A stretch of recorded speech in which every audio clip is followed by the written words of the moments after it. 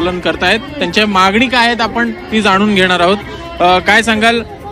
अजूनही तुम्ही आंदोलन करता आहात काय तुमची मागणी आहे? कोल्हापूर अंगणवाडी संपादरम्यान संघटनेने बरेच विषय समोर आणले. पण महिला अंगणवाडी संघटनेच्या सचिवा जयश्री पाटील यांनी एका मुख्य विषयावर जास्त भर दिला. तो म्हणजे कोरोना काळातील मानधन आणि भत्त्याचा.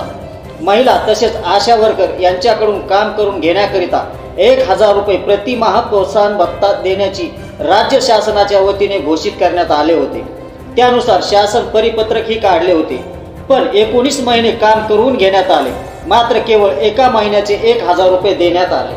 ठरल्याप्रमाणे तर दिले नाहीच पण सेविकांच्याच मानधनातून चार चार हजार रुपये हे कमी कपात करण्यात आले. अजूनपर्यंत तेही मिळालेले नाही. शासनाच्या या फसवेगिरी विरोधात जिल्हा परिषद समोर आम्ही आंदोलन करत आहोत. फसवेगिरी बंद करा. कोरोना काळातील प्रोत्साहन भत्ता हा सुद्धा मिळालाच पाहिजे. वेठणे बिगारीचा निषेध असू केलेल्या कामाचा मोबदला मिळालाच पाहिजे अशा घोषणा देण्यात आल्या. अमोल मारकर म्हणाले आश्वासन द्यायचे आणि काम करवून घ्यायचे. मोबदला देण्याची वेळ आली की तोंडाला कुलूप लावायचे. असा हा क्रम शासनकर्त्यांचा झालेला आहे. तोड चालाकी करून सेविकांना किती काळ फसवणार याचा जाब विचारण्यासाठीच आम्ही येथे आलेलो आहोत. प्रमोद गोरघाटे यांच्या नेतृत्वात शिष्टमंडळ मुख्य कार्यपालन अधिकारी यांना भेटले व मागण्यांचे निवेदन सादर केले.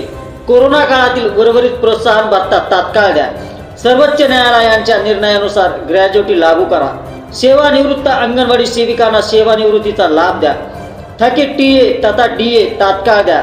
आता आश्वासन नव्हे आता जी आर द्या. पुढे निर्णय काय लागणार हे नक्कीच कळेल. परंतु त्यासाठी अजूनही चॅनलला सबस्क्राईब केले नसेल तर चॅनलला सबस्क्राईब करा आणि व्हिडिओला एक लाईक करा. धन्यवाद.